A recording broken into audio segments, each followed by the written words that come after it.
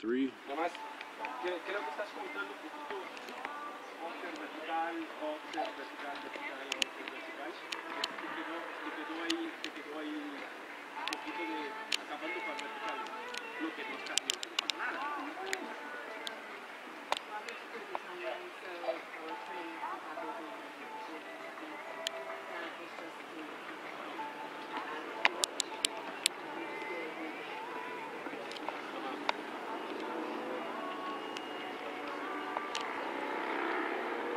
tarjetas a tú.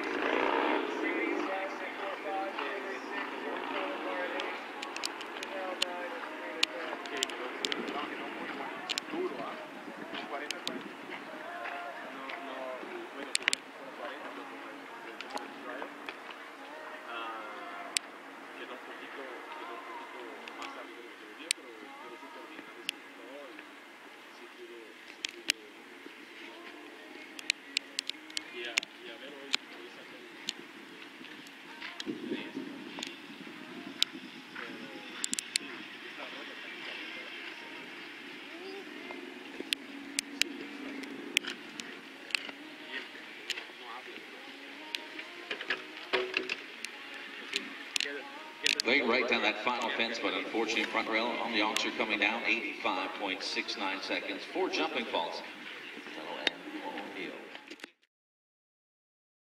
Three, one, three.